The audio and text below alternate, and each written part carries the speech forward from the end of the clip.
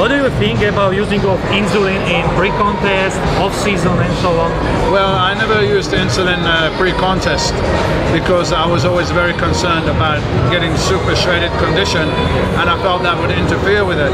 Uh, I did use insulin in 96 and 97 in off-season and I was able to get a bit bigger but I don't believe it was quality, you know, and uh, the waist started to get a bit bigger, you're holding more water in the muscle so of course you're heavier and you're bigger but you have to lose the water It anyway. so conditioned. Yes, exactly.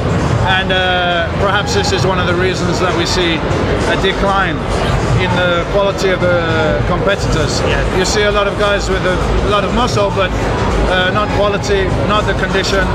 And uh, I'm going to say it, I said it before, even the professionals at Mr. Olympia, the condition is not great now. Yeah, yeah. I'm sorry, but it's not. Yes, you are true. Uh, okay, what about actual trend in bodybuilding? You know, there are some, after the Arnold speaking at Arnold Classic, there were some people divided in two two groups. One, okay, these boys are big, it is okay, and there is a big uh, group of people that are saying this trend is not good. What do you think? What is your opinion? Well, I think it's bodybuilding. So the idea is to build as much muscle mass as you can fit on your frame, and it's aesthetic, and it's in condition, and it's a very low body fat. So that's what we're not seeing. We're seeing big guys, yeah, but they're not in condition, and the waist is not tight.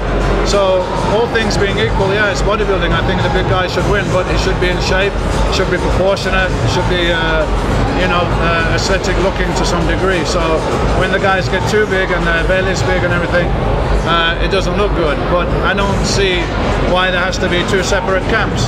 You know, why can't they have a guy like myself the in the 90s that was shredded and big and uh, also proportional. Yes, We don't see that now. It was golden. This was, I said every time that this was the true golden era. Your years, Kevin Levrone. I believe so. You know, um, many factors may be involved, but you get this in sports, even in boxing. You can say in the 70s, the boxing was much better. You had Muhammad Ali, you had George Foreman, you have uh, Frazier, you have many great people in one time, and uh, that's what happened in the 90s, and it was very competitive.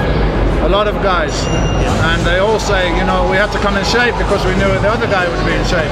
So you have this now. You know the other guys are not really in a great shape, so the standard generally is lower. So uh, I don't, I don't think it looks great to have a big belly and uh, and all this stuff, but why you can't have a tight belly and uh, a lot of muscle as well? That's what that's what we did, you know. Yeah, okay, but if you can pick up one one bodybuilder from top, who you like? I'm not a big fan of any of the guys really on stage now, to be honest. But obviously, I think Phil Heath, if he's in shape, then he's the best guy that we have Yeah. there right now, you know. And uh, Great round muscles. yeah, but for the fans, I don't think it's very interesting because you have one guy. If he's in shape, he's going to win. We already know that. and then after that, it goes down. You know, it's not great. So, okay, thank you very much for your time, Okay, Dorian. thanks.